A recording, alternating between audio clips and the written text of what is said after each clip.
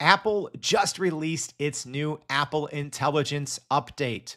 So it is in beta right now. I'm going to show you Number one, how to install it. It's a little bit tricky. I'm going to go over what's new, do a quick review of Apple Intelligence, and give you my thoughts on if you should be using it.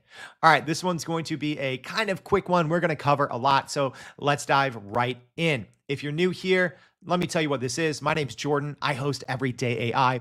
We're a daily live stream podcast and free daily newsletter helping people learn and leverage generative AI. Been talking about Apple Intelligence a lot. We just did our AI news uh, that matters, uh, kind of access to that. And it's not available for every single device. So I'm doing the Mac OS 15.1 version. Uh, so you need to have an M1 chip or higher uh, to access this beta. Uh, and if you're on the iPhone, you need to have an uh, an iPhone 15 Pro or newer, or the new Apple, uh, you know, six or sorry, iPhone 16.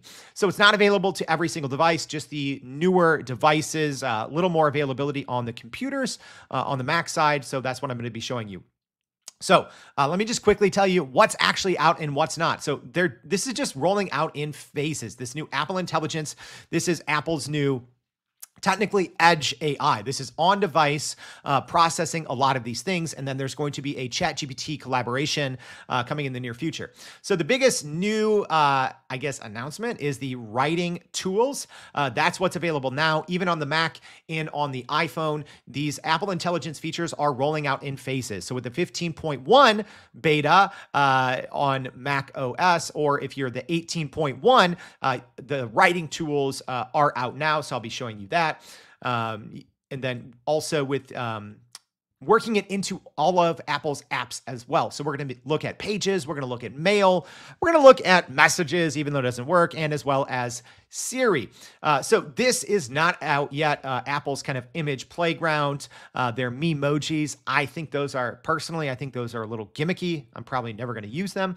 Uh, those are not out yet. There uh, is reportedly another beta coming out in October, uh, where some of these features will be coming out to U.S. users first, um, and then I believe most of them will be rolled out by early 2025.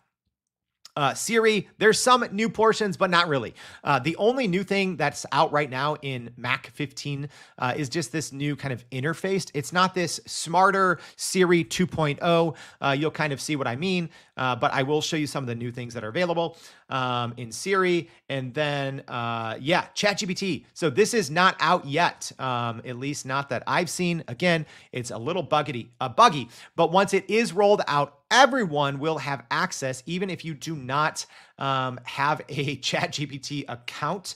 Uh, so yeah, it says right there, uh, anyone can access ChatGPT for free without creating an account. ChatGPT subscribers can connect accounts to access paid features within these experiences. So uh, we're one. I'm wondering if we'll see this more, uh, much more powerful ChatGPT app uh, that we saw OpenAI demo uh, back in the spring.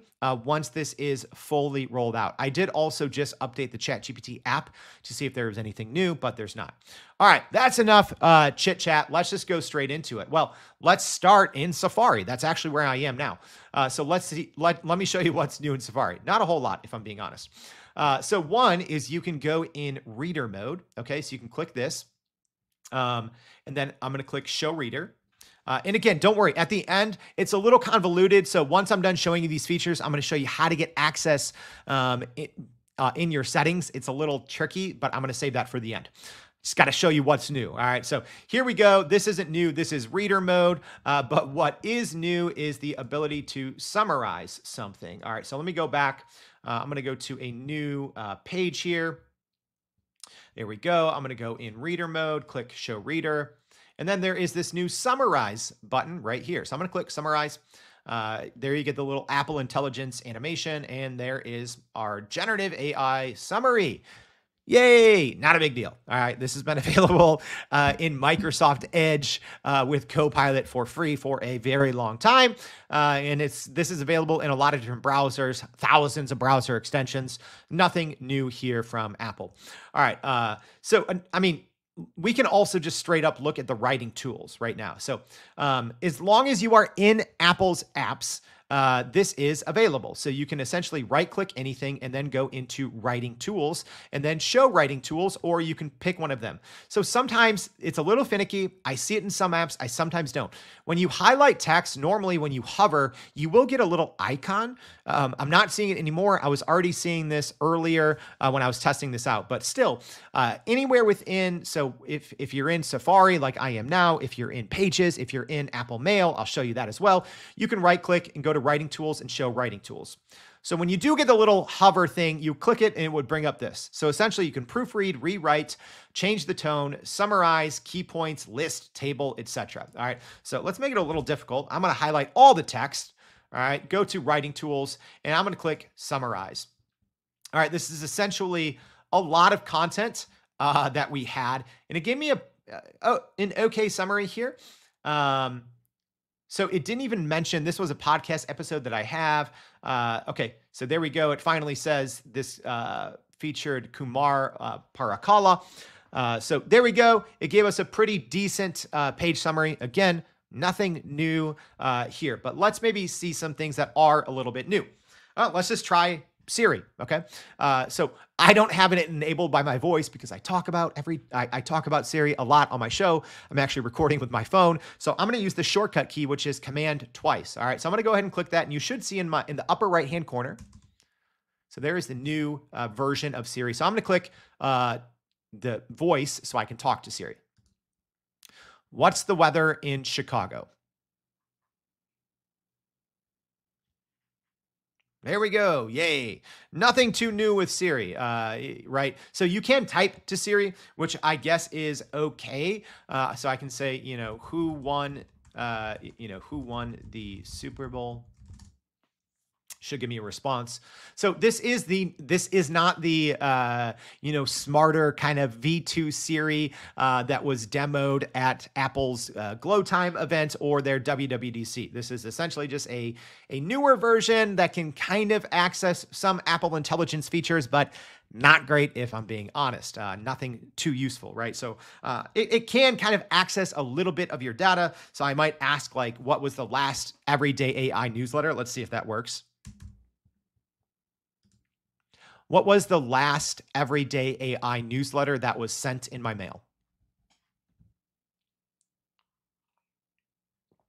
So there you go. Uh, it looks like it just, it actually looks like it just did a web search.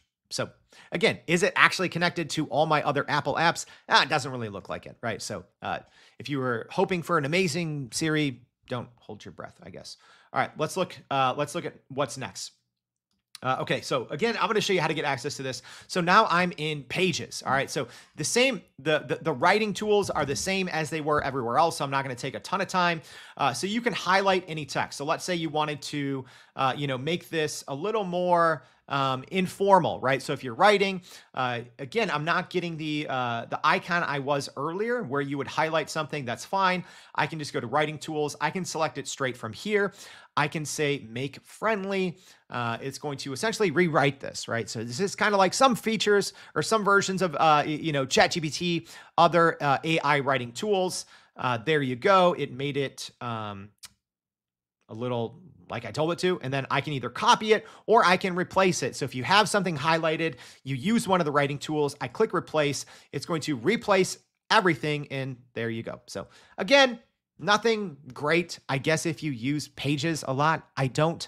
Uh, this this could be helpful, uh, or if you use, um, y- yeah, if you are a Safari user, I like Edge and uh, Chrome, so I'm not like a big Safari user. So for me, nothing nothing big here. All right, let's look at maybe uh, one or two uh, last features. So let's go into Apple Mail here. All right. Uh, so let me open up a newsletter. All right, so interesting. I was working, uh, I was testing this out earlier and I would get the summarize. Okay, there we go. So it looks like you have to open it, whereas before uh, okay, I just scroll up. There's the summarize. It's kind of small, right? Uh, so you can summarize your emails. So that's helpful. Uh, I'm sure. There you go. There's my summary. Uh, I'm wondering if I can right click and summarize it like that. It doesn't look like I can yet. Um, so another another kind of big thing that was announced was these prioritized or summarized notifications. I'm not seeing that on my end. I looked at my notifications, text messages that I have on my computer. Uh, they weren't summarized. So again, a lot of these features are are rolling out as they become available. Uh, so I think that's that's kind of all the big updates there. I'm going to show you how to get access. I want to make sure I'm not missing anything. So as a quick recap, writing tools are out in the Mac 15, uh, Mac OS 15.1. Uh, showed you a couple of those examples. Uh, sometimes it shows up the little icon. Sometimes you just have to right click on your mouse, on your keyboard, etc. Uh, the images are not out yet, or the emojis. Uh, Siri, you're getting some new features, but this isn't the quote unquote smarter uh, Siri that's uh, powered by ChatGPT or GPT 4o. Uh, so don't see that yet. It also looks like, at least in my limited testing, Siri does not have access to other data in my Apple apps aside from messages. Um, so I, I, did do a test on messages. I'm not trying to read my messages uh, to you all live, uh, but that did work. So, uh, y- you know, it was okay, but nothing, nothing groundbreaking here. Uh, and then uh, the ChatGPT integration not out yet. So here's how to get access to it. Uh, this is a little finicky. So you need to first uh, go into uh, Apple's Safari browser. Okay, you're going to go to beta.apple.com. Uh, you need to sign up for the uh, beta software program, or unless you're a developer, you may already have access. Um, let me say this don't install this if uh, maybe you're on a work computer or if uh, you have a lot of files that you really, really need and are super important at the time, right? Because this is beta. Uh, so things are going to be finicky. Make sure to back up your computer first before doing this. Make sure, you know, if you do have super important files, make sure you install them on the cloud. Um, or sorry, sync them to a cloud service, install them on the cloud. All right, so uh, first you have to sign up. Uh, then you will need to update to the beta. All right, and this is where it gets a little tricky. So uh, eventually in general, you'll go to software update. After you sign up for it, you essentially click a button. You'll have a new thing here that says download the beta.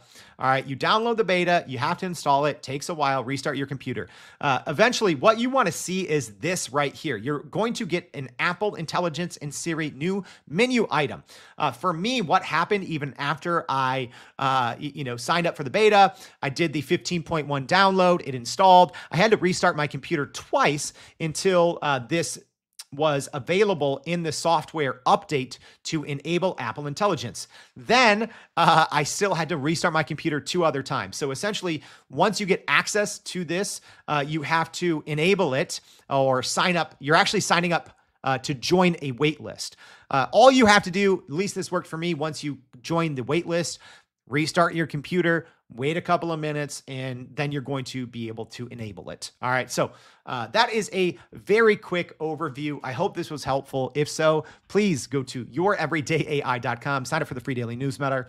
Let me know. Do you want to see more on Apple Intelligence, uh, at least on the Mac? For me, not super impressed with this first beta. I don't. I honestly don't even think I'm going to be using it much. If you have other tools, you know, ChatGPT, uh, you know, Perplexity, Gemini, uh, right, Copilot. I don't think you need this, right? Um, and it, this isn't fully out yet either, right? Um, if this was a, a full release, if it worked everywhere, if if Siri uh, could, could better read my emails, uh, all of my data, right? Like I don't care. I'm very happy to give whoever my data if it makes my life easier. But right now it's a little disjointed. Not everything's out yet, uh, so I'm not going to be using it, right? Uh, so yeah, there you go. Let me know what you think. See you back for another AI in 15 apparently. Thanks, y'all.